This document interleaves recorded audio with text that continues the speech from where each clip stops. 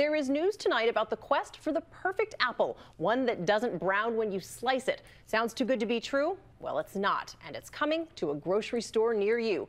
Here's ABC's Gloria Riviera. Watch this, a time-lapse video of two seemingly identical apples. With time, the apple on the left browning as normal after cut, bruised, or bitten. The apple on the right still perfect. The difference, science.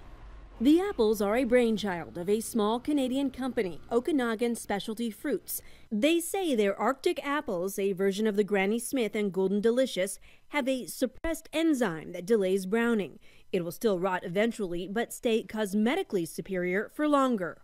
This week, the U.S. Department of Agriculture approved the Arctic apples, a genetically modified non browning apple, deciding that they are not likely to have a significant impact on the human environment.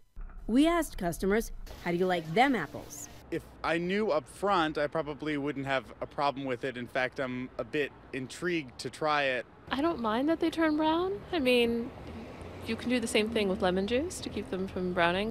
Critics are concerned about misleading customers who may accidentally bite into an apple that is much older than it appears.